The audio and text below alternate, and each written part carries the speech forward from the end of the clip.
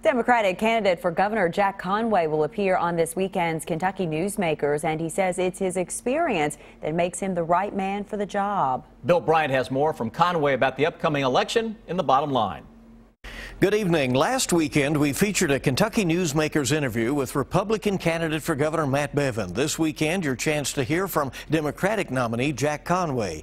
In a year when outsiders seem to be in, Conway has a long resume in politics, including two terms as Attorney General, campaigns for Congress and the U.S. Senate, and years as General Counsel in the governor's office. But Conway makes the case that his experience is an asset when it comes to making important decisions. I will not go off half-cocked. I will not go off unprepared. And one thing about being governor, if you're going to be a good governor, is you can't act like you have all the answers. I'm not here today, and I'll never be in front of the people of Kentucky acting like I have, have, all the answers. But you know what I've done during my career? I've built up a lot of relationships and a lot of friendships, and I know how to get the people around me in very quick order to help me make the right decision. You can see the full interview with Jack Conway on Kentucky Newsmakers Sunday morning at 6 on WKYT. It repeats Sunday at 10 a.m. on the CW Lexington, so you can set your DVR or catch it then. And our interview with Matt Bevin is available online at KentuckyNewsmakers.com. We'll be interviewing independent Drew Curtis for next week's program. The Kentucky legislature comes to Frankfort in early January to deal with the newly sworn-in governor, and a group with increasing clout at the Capitol is the Kentucky Distillers Association. CN2 reports the distillers are hoping to see some rules loosened. That includes increasing a current three liter limit for alcohol bought at distilleries, as well as larger sample limits. And they'll push for allowing distilleries to be allowed to sell drinks just as wineries and breweries can already do. Bill Bryant, WKYT. Police raid two convenience stores in Lexington tonight. More on the month-long investigation into a shoplifting ring. A murder investigation underway now in Louisville after two people were shot to death early this morning. Coming up, we'll tell you about a horse with a famous pedigree being brought back to health in Jessamine County.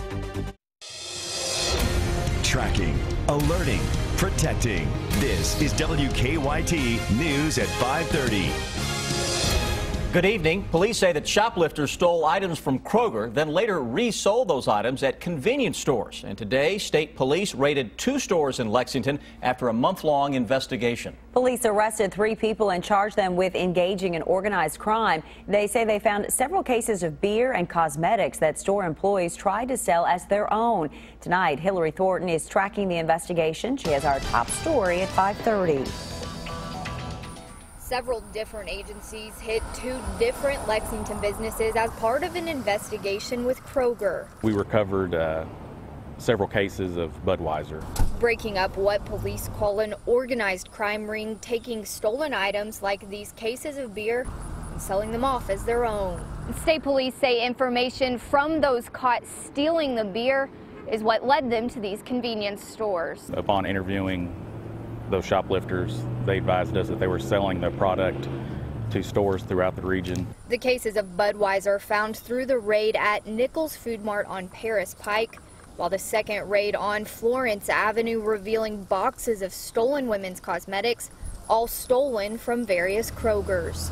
The raids also resulting in three arrests, Nikel Ildemar and Jao Batista da Silva at the Paris Pike business, and Mafid Ayad at the Florence Avenue Food Mart, all three charged with engaging in organized crime. The store owners were aware that they were selling the stolen product. They would actually place orders with shoplifters. In Lexington, Hillary Thornton, WKYT. State police say some of the items were bought for pennies on the dollar. Jailers in eastern Kentucky are investigating after they say an inmate tried to sneak in drugs. 40-year-old Willie Smith was booked into the Bell County Detention Center yesterday. The Bell County jailer says Smith tried to sneak in more than 16 grams of crystal meth and pills inside his body. Investigators say the street value of the meth is about $1,300. Police say they also found more than $1,800 in cash and two cell phones in Smith's pockets. Two people are dead and another injured after a shooting in Louisville. Police say it happened at a home on Northwestern Parkway this morning. Right now, they're still trying to figure out what led to the shooting. The names and ages of the victims have not been released. The third shooting victim was taken to the hospital with non-life threatening injuries. Get ready for a cold weekend here in the Bluegrass. If you have plants, take note because we could see some frost overnight. Sounds like we're talking about layers, Mr. Jim Caldwell. Layer up, right? You're going to need them. You absolutely will moving forward. Even during the daytime hours this weekend, uh, you're going to need an extra jacket or a jacket, period. Something that maybe you haven't had to wear recently. You'll need it. Let's look at the daily breakdown as we highlight some of the things coming at us here. So far, uh, it's easy. It's coldest weekend of fall, naturally, with those low and mid 50s and temperatures hovering in the low to mid 30s at night tonight. And then on Sunday morning, we're likely in the upper 20s. Hard freeze likely at that point, but here's the positive spin on all of it. Well, we have a little bit of a recovery that begins Monday. Now, Monday's not going to be off the charts warm, but as we go through the week, we'll get things back to where they should be for this time of year, which is warmer than what they are right now. And we are in the low and mid 60s out there. And if you've been outside, it's not terrible, but you can certainly feel that there is certainly a chill in the air, and it's been pretty tough. Our planner, as we move forward here, we look to the 8 o'clock hour. We'll call it clear and chilly, around 49 degrees into the early morning. How about some areas of frost with 34? Still kind of hanging out at 8 o'clock tomorrow morning, and then we're only around 53 for a high coming up into the afternoon and evening. So we are talking downright cold temperatures, especially at night into the weekend, and we will track them hour by hour coming up in just a few minutes. A man is in jail, another in the hospital after a stabbing this morning. Our county by county coverage at 5:30 begins in Leslie County. Police say it happened at a home on Hopeful Lane in Hyden. They say Justin Nance got into a fight with Richard Hinson and then took Hinson's knife and stabbed him in the throat. Crews rushed Hinson to UK Hospital where he is in intensive care. A gentleman that had gotten there just prior to the fight I said he came around the side of the house and, and saw the fight going on and saw the blood and the knife being wielded and uh, got him uh, separated enough to where he could give first aid. Police arrested Nance and charged him with assault. And in Laurel County, a man is in jail charged with child abuse after deputies say an infant ended up in the hospital. Deputies arrested 28 year old Jacob Johnson at a home in London on Wednesday after someone brought an unresponsive eight month old baby to the hospital. We're told Johnson had taken Percocet and left half a pill on a plate out in the open. Deputies say the child was left unattended and took the drug. They say Johnson gave them several different stories before telling them what actually happened. He's charged with falsely reporting an incident, criminal abuse, and wanton endangerment and public intoxication. They say she looked like a skeleton when she arrived at their facility. Tonight, a group in central Kentucky is nursing a neglected horse back to health.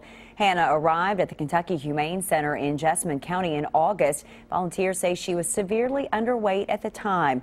As WKYT's Mike Linden found out, Hannah has a famous pedigree. At the Kentucky Equine Humane Center in Jessamine County, Staff and volunteers nurse horses back to health and prepare them for adoption. But for one horse who arrived at the center without a name in late August, she was severely underweight with problems walking as a result of neglect. One of the first things we always ask people is if they have a picture, can they send it to us, just so we can visually see, you know, what the horse looks like. So as soon as we saw Hannah, we took her the very next day. She was basically a skeleton with skin on it. When Hannah first arrived at the Equine Humane Center, veterinarians graded her body condition on a scale of 1 to 9, 9 being obese and 1 being emaciated. Hannah was a 1. While staff didn't know much about Hannah's past, after research into the thoroughbred tattoo inside her lip, they found a match. Hannah is the great great granddaughter of Triple Crown winner Seattle Slew. It's a relief to be able to figure out who she is, and also, um, you know, it gives her her dignity back. Since arriving in late August, Hannah has gained nearly 100 pounds, and with the help of specially designed horseshoes, is beginning to walk better. Humane Center staff say taking care of a horse, like any living thing, isn't to be taken lightly. You just need to understand what's involved and, and get a little bit more experience. You don't want to just jump into it knowing nothing um, because then the horse can end up in this situation um, by accident. In Jessamine County, Mike Linden, WKYT. Humane Center leaders say with another four to six months of rehabilitation and training, Hannah should be ready for adoption. Tonight is the night that many UK fans have had circled on their calendars for months. Big Blue Madness starts in a little more than an hour. Fans will get the chance to see both the men's and women's basketball teams in action. As you might remember, many people camped out for days to get their tickets. Big Blue Madness will air from 7 to 9 on the SEC network. It's not unusual for a cell phone to get warm, but a growing number of people are complaining that their new iPhones are running hot. In one extreme case, the victim says his phone went up in smoke. And the smoke was just coming through the middle of it. It's one of the hottest phones on the market. Just ask Kevin.